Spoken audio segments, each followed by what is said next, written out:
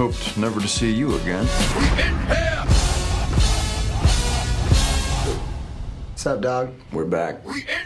Ladies, nobody gave a shit about the Jump Street reboot, but you got lucky. So now this department has invested a lot of money to make sure Jump Street keeps going.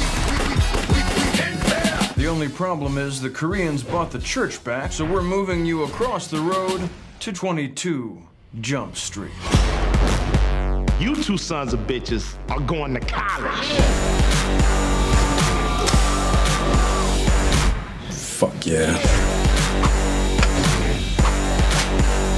What? Quiet bathrooms. Fuck. I'm not gonna take a shit the entire time we're here. We'll go around to classes and activities, ask around about the drug, find out who the dealer is. Do we look older or does everyone in college look like babies? Some of us are trying to study, so can you take it down to a level of shut up? Is this the level you're looking for? Shut. You look really old, too. You look old as shit to be here. White boy wasted. Partners for life. White boy wasted. It's just drinking games and bonding. Why is that so painful for you? No. You cannot hug me right now.